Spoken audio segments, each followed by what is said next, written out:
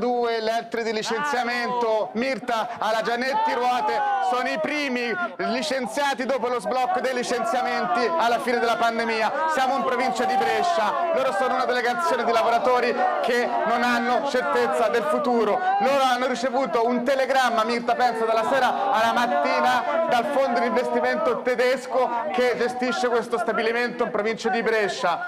Gianluca, all'improvviso, all'improvviso è successo questo, voi stavate lavorando, stava andando tutto bene, è arrivata una lettera, licenziati.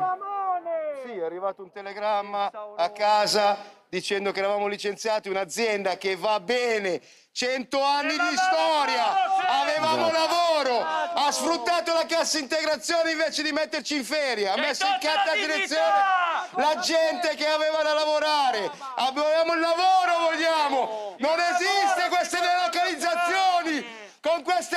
aziende che vengono e portano via il lavoro. Allora, lavoro, Giannetti Ruote, un'azienda italiana, chi l'ha comprata?